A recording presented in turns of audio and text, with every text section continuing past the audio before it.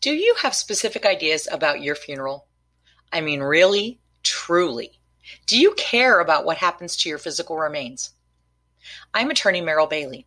If you want unicorns, the UCF marching band, cheerleaders, nugget, and bears costumed in tuxedos to dance you out, you better get to your caring law firm now to name in writing the person who will do what you want.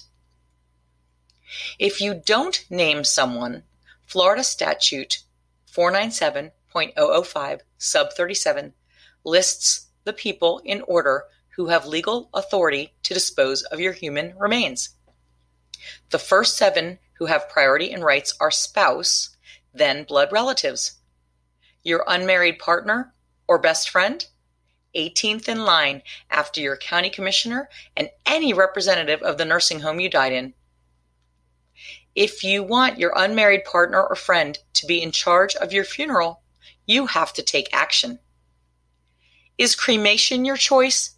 If you are widowed, divorced, or not married, the funeral home will require all of your children to agree. I am one of seven children.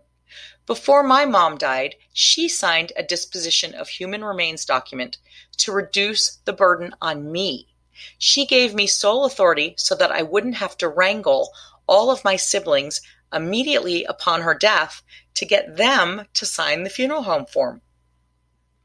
At your caring law firm, we prepare a separate document instead of burying your wishes inside your last will and testament. Why? Because it might be a couple of weeks after you get on the bus before someone reads your will. And by then, your Zoom memorial event featuring you in a rented plain pine casket is long over. If you'd like to speak with us about whom you wish to be in charge of your funeral arrangements, call 407 622 1900 or visit yourcaringlawfirm.com.